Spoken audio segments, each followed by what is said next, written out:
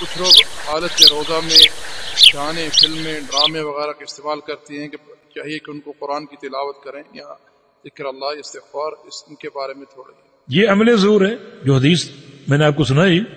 قول زور اور عمل زور، دونوں روزے کی حالت میں حرام ہے قول زور سے مراد ہر وہ بات جو شریعت کے خلاف ہو، اور عمل زور سے مراد ہر وہ کام جو شریعت کے خلاف ہو۔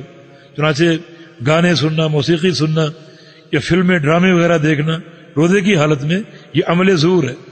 روزہ آپ کا ہو جائے گا، لیکن ثواب بالکل نہیں ملے گا۔ چنانچہ حدیث میں ثواب کی نفی، کہ اس کو اس کے بھوک اور پیاس کی تکلیف کے سوا کچھ حاصل نہیں ہوگا۔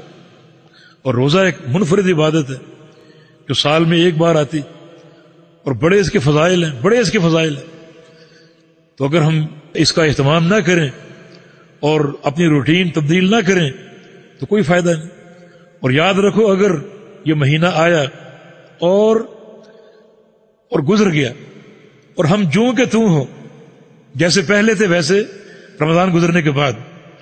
جیسے پہلے گناہوں کا ارتکاب کرتے تھے، ویسے رمضان میں بھی ہو رہے ہیں۔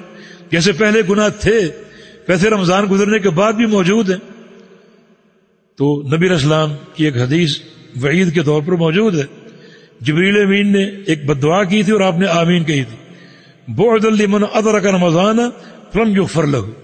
اس شخص کو اللہ کی رحمت سے دتکار دیا جائے جو رمضان کو پالے اور اپنے گناہوں کو بخشوا نہ سکے.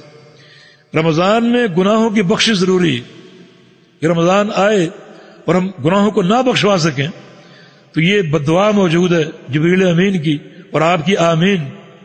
کتنی بھیانک یہ بدعا ہے. اللہ کی رحمت سے اگر کوئی شخص دتکار دیا جائے، تو وہ جنت میں نہیں جا سکے گا. جنت کا داخلہ اللہ کی رحمت کے بغیر ممکن نہیں ہے۔ تو اس مہینے کا ہمیں، ہر رمضان کے مہینے کا ہمیں اس طرح استقبال کرنا ہے کہ ایک اپنے آپ کو تبدیل کرنے کا عزم، اپنی زبان کی حفاظت، آنکھوں کی حفاظت، کانوں کی حفاظت اور اپنے اوقات کو ہم جو مصروف رکھیں تلاوت قرآن میں، اللہ کے ذکر میں اور خوب قرآن پاک کی تلاوت کریں۔ قرآن رمضان میں اترا، رمضان اور قرآن کا گہرا ساتھ ہے، گہرا تعلق ہے۔ اور نبی اسلام کی حدیث ہے، القرآن و سیام یشفان العبد یوم القیامہ۔ روزہ اور قرآن دونوں مل کر قیامت کے دن بندے کی سفارش کریں گے۔